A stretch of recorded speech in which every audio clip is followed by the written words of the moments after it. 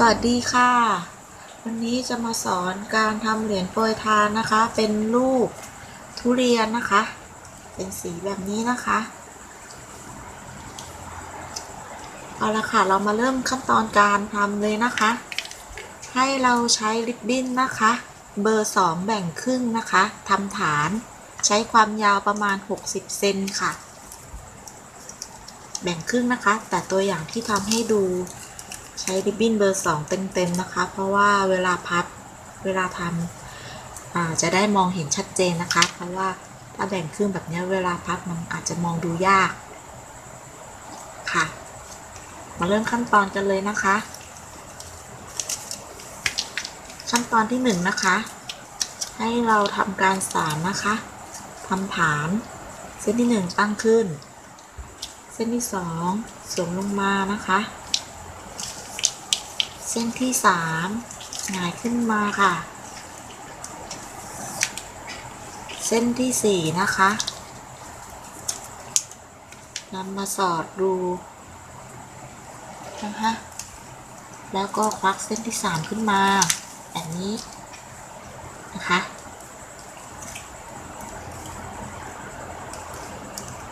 ตอนทำลูกจริงๆก็เบอร์สองแบ่งครึ่งนะคะเหมือนเดิมนะคะ ต่อไปนะคะ ให้เราขั้นตอนที่สองให้เราพับเส้นบนลงมานะคะ วนเข็มนาฬิกาเลยค่ะหนึ่งสอง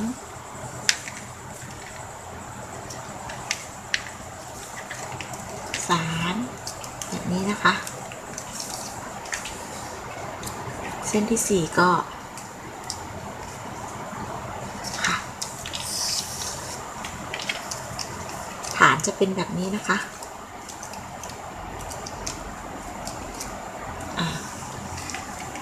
ต่อไปนะคะ เราจะมาทำเปลือกทุเรียนกับหนามทุเรียนนะคะ ให้เราใช้สองสีนะคะ สีเขียวกับสีเหลือง ใช้ความยาวประมาณ 90ถึง90ถึง100เซนติเมตรนะคะ แบ่งครึ่งค่ะ เสร็จแล้วนำปลายมาต่อกันแบบนี้นะคะ มาประกบกัน แล้ว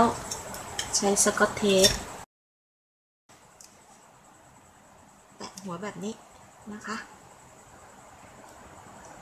พอเป็นอย่างนี้แล้วก็พับออกค่ะ ขั้นตอนที่ 3 นะคะ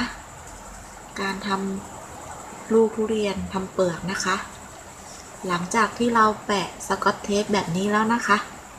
ให้เราผลักเส้นสีเหลืองลงมาแบบนี้นะคะ หยิบฐานขึ้นมานะคะ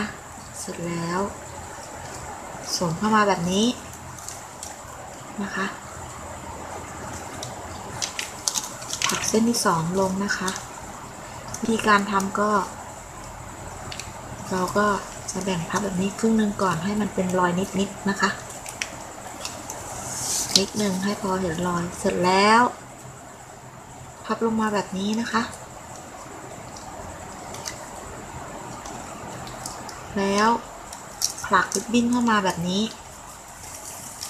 นะคะ เสร็จแล้วพับแบบนี้อีกทีหนึ่งนะคะ แล้วก็ผลักขึ้นไป เป็นแบบนี้นะคะ แล้วเอาเส้นสีเขียว เอาเส้นสีเหลืองพับขึ้นนะคะ เส้นสีเขียวสอดลงข้างใต้ ให้ประกบกันแบบนี้ค่ะ ค่ะ ชั้นชั้นที่หนึ่งชั้นที่สองก็เราก็ทำแบบเผื่อๆออกมาหน่อยนึงนะคะ เพราะว่าลูกก็จะได้เป็นแบบทรงกลมๆสั้นๆนะคะ จะได้ไม่แบบว่าเรียวหรือตรง ชั้นที่หนึ่งชั้นที่สองชั้นที่สามก็ทำหลวมๆแล้วค่อยๆดันเข้ามานะคะ เอาเรามาเริ่มทำชั้นแรกก่อน แล้วก็เริ่มพับไปแบบนี้นะคะพับครึ่งแบบนี้ ผักเข้ามา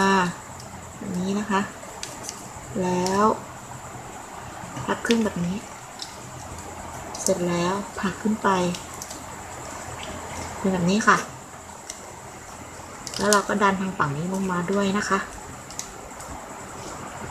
นะคะ ต่อไปเส้นนี้นะคะ เราก็หนีบเข้ามาแบบนี้ค่ะ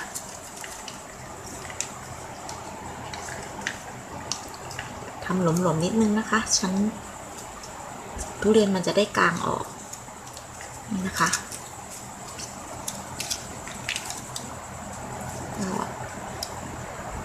ลงมา แล้วก็พับขึ้นแบบนี้นะคะ เสร็จแล้วก็พับให้เป็นแบบนี้ เป็นโจทย์แบบนี้นะคะ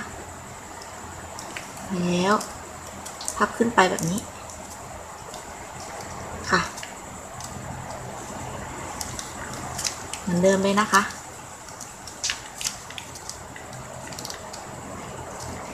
ค่ะ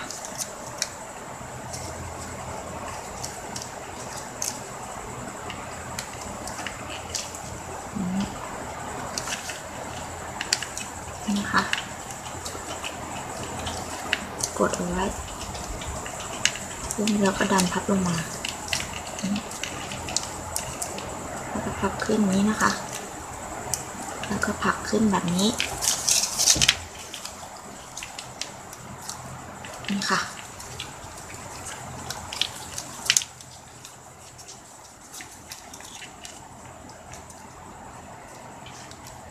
นะคะ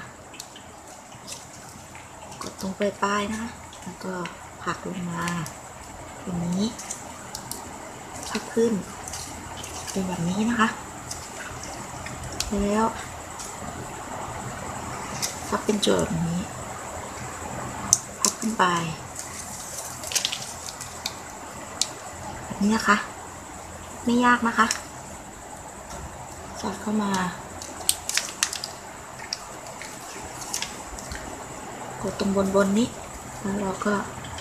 พับลงมาลิปบิ้นมันจะได้ ไล่เรียกันนะคะ ขึ้นอย่างนี้ลวนแบบนี้ เสร็จแล้วผักขึ้นแบบนี้นะคะ อ่า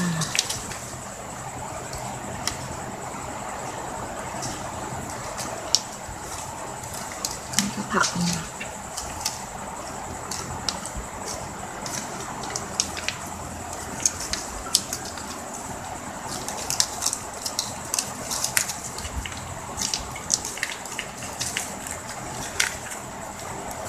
นะคะกดหัวไว้พับลงมา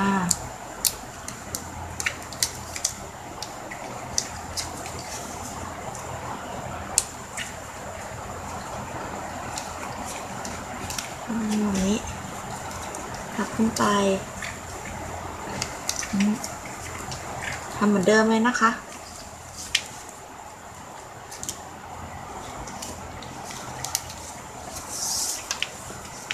ก็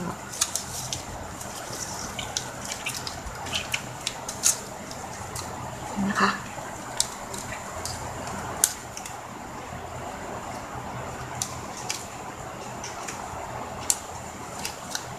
อืมขึ้นมา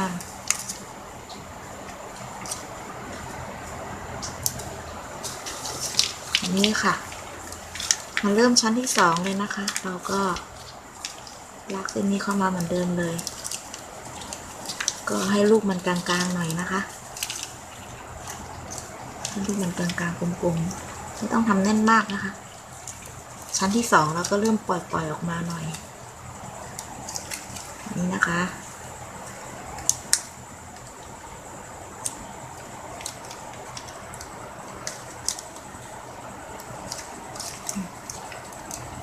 พับขึ้นแบบนี้อืมอันนี้ค่ะ ชั้นที่สองเลยนะคะทำไปประมาณห้าชั้นนี่ยค่ะชั้นที่สี่ชั้นที่ห้าเราก็ค่อยๆ บีบมันเข้ามานะคะ ชั้นนี้เราก็ยังปล่อยอยู่ลูกมันจะได้กลางๆออกนะคะ กดไว้นะคะ กดบนๆตรงนี้ เวลาพับหัวข้างบนนี่ค่ะขึ้นมาอันนี้พับลงไปแบบนี้ เสร็จแล้วพลิกขึ้นมาแบบนี้นะคะอ่าอันนี้ค่ะ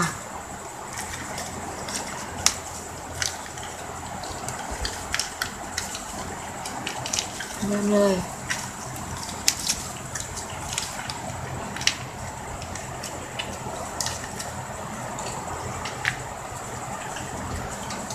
นี่นี่นะคะ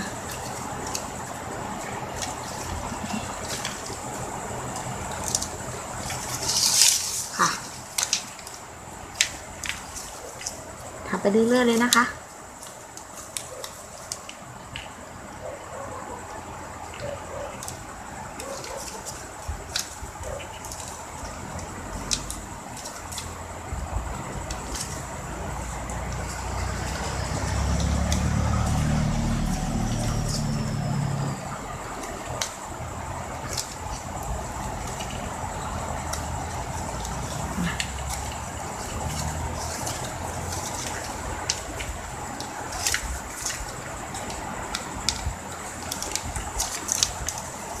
นี่ค่ะ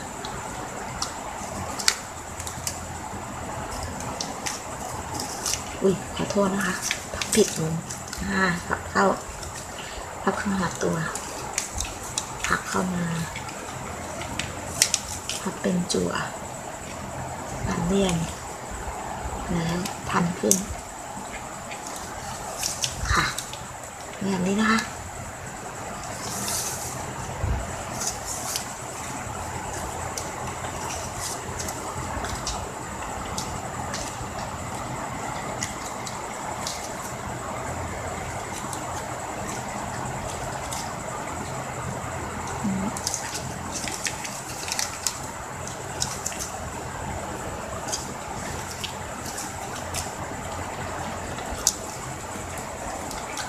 นี่นะคะ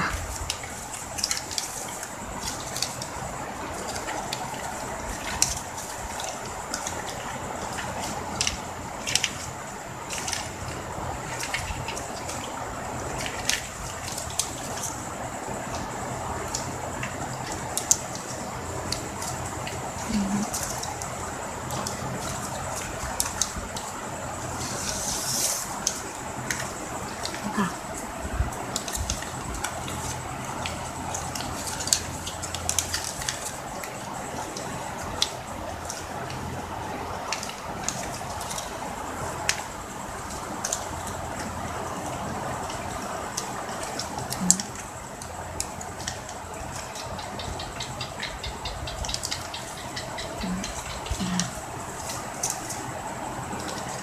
นี่ค่ะอันนี้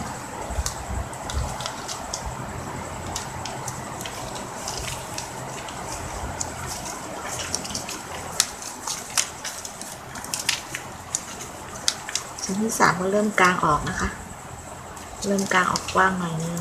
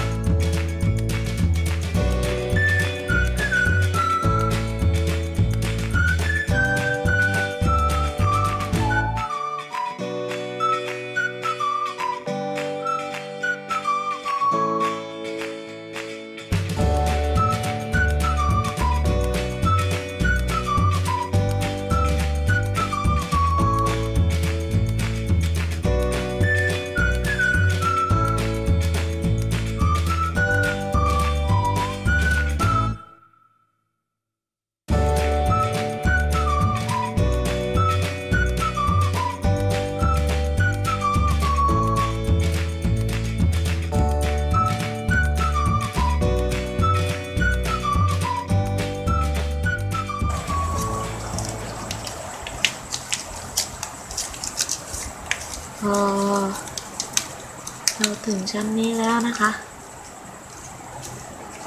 หลังจากเราถึงชั้นนี้ได้ห้าชั้นแล้วเราก็ตัดปลายนะคะติดปลายตรงนี้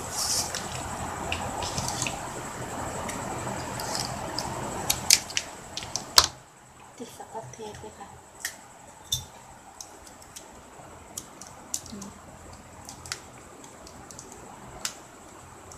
ปิดริมแบบนี้นะคะ ขั้นตอนสุดท้ายนะคะ เป็นการเก็บปลาย เราหย่อนเหรียญขั้นตอนนี้ได้เลยนะคะ ขั้นตอนเก็บปลายก็ไม่ยากนะคะ เราก็จะรวบเข้ามานะคะ ให้มันเป็นเกลียวสวยๆนะคะแล้วเราก็ม้วนค่ะ ให้เป็นเกลียวสวยๆนะคะ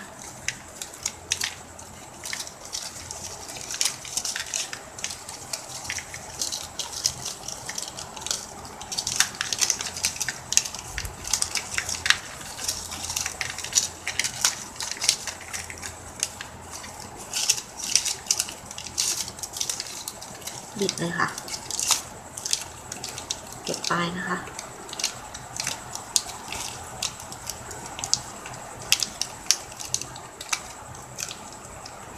ปล่อยชั้นที่หนึ่งที่สองตรงเนี้ยเยอะ ๆ นะคะ ส่วนปลายก็รวบเข้ามา ลูกมันจะเป็นป่องๆ กลมๆ ออกมานะคะ ตอนนี้เราก็บิดปลายค่ะบิดไปเลยนะคะ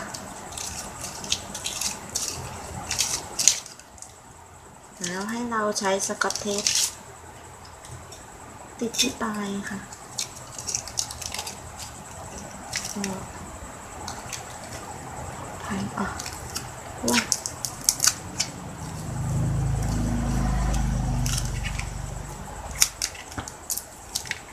อันนี้นะคะ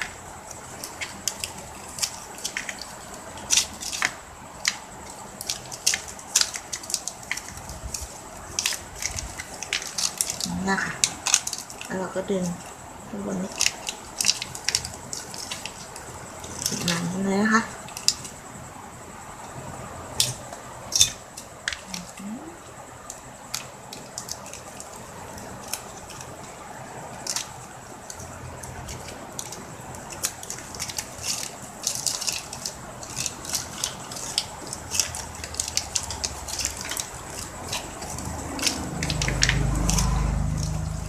เสร็จแล้วเราก็ดึงถ้าเกิดมันไม่กลมเราก็ค่อยๆ ดึงปรับเอาตามที่ต้องการนะคะ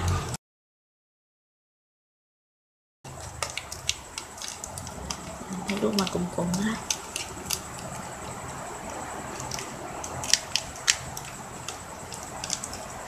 นี่ค่ะ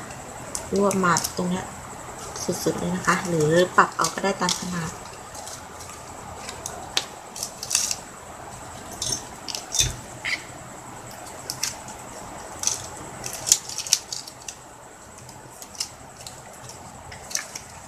เสร็จแล้ว ก็ ใช้ฟอร่าเทปแบบนี้นะคะ ทำเก็บงานเลยค่ะ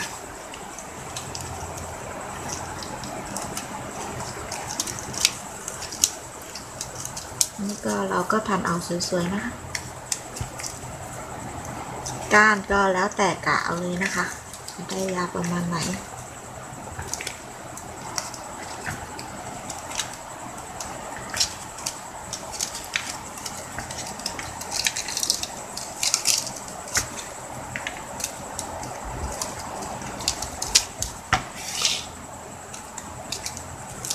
ค่ะ แล้วเราก็ ตัดปลายค่ะ ก็จะได้เป็นผล ทุเรียนแล้วนะคะแบบนี้ดึงลูกให้มันกลมๆสั้นๆนะคะแบบนี้ค่ะ เสร็จแล้วค่ะ วิธีการทำทุเรียนนะคะสำหรับวันนี้ก็ขอจบวิธีการทำเพียงเท่านี้นะคะ ขอบคุณค่ะ